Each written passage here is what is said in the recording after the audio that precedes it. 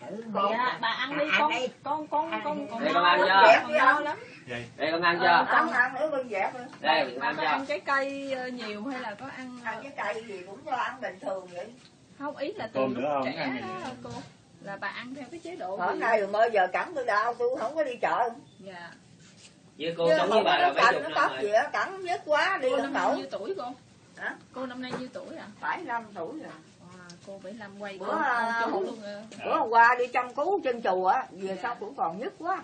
Dạ. Chú cũng uh, 74 77 74. tuổi dạ. Như cô với sống với bà là mấy chục năm rồi? Không lâu lắm bốn chục năm rồi. Bốn chục năm rồi. Dạ. Đây con hiện tại là bà sinh hoạt tự có phải tự đi lại ăn uống rồi tự đi vệ sinh này kia được hết? không? Hồi nhỏ rồi chứ giờ già đi đâu?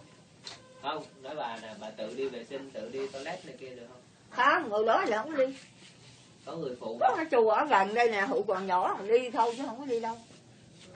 Còn bây giờ bà có có tự làm được cho bà không? Hay là cô Không, không. cô phải làm? Không đâu có làm gì được trời có bà lãnh được dạ. Ai cũng kêu anh chị không đó. Dạ. Ngầu đó chút đá gì vợ á. Đá trên giường đá võng giặt vũ giờ nhất mà. nhỏ này tôi đẻ nhỏ này nè. Nó nó nó thứ ba là đẻ nhỏ này thứ ba đẻ đẻ chuyện làm nó còn đâu ba dạ.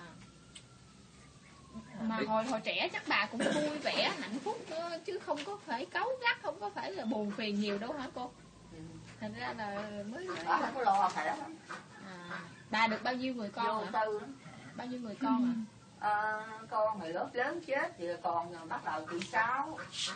Sáu cũng chết rồi. giờ giờ giờ chị